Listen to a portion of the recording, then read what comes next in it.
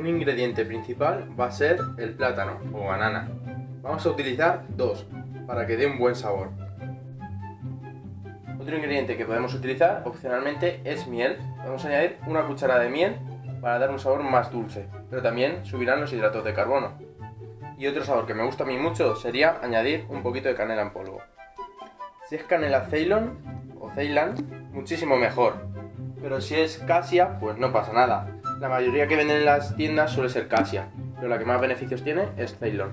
Es difícil de encontrar. Y ahora vamos a aumentar las proteínas mediante este alimento. Queso batido fresco. Lo venden en Mercadona, pero supongo que en otros supermercados tendrán otro. La verdad es que no tiene mucho sabor a queso, es como si fuera una mezcla de yogur y queso. Y lo bueno es que prácticamente tiene proteínas. Por cada 100 gramos tiene 3,5 hidratos de carbono, 0 de grasas y de proteínas tiene 8 gramos por cada 100 gramos y vienen 500 gramos. Por lo tanto podemos aumentar la proteína fácilmente sin necesidad de comprar proteína en polvo. Cada cucharada sopera colmada suelen ser unos 50 gramos de queso fresco batido. Por lo tanto, si echamos dos cucharadas grandes soperas colmadas, vendrán a ser unos 8 gramos de proteína.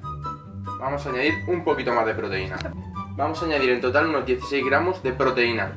Ahora lo que podemos hacer es añadir un poquito de leche desnatada, desnatada para que no suban mucho más las calorías y nos siga aportando algo más de proteínas. La leche lleva por cada 100 mililitros unos 3 gramos de proteínas, así que vamos a echar en torno a un vaso que vendrían a ser unos 6 gramos, un poquito más. Así, y para que salga además mucho más líquido.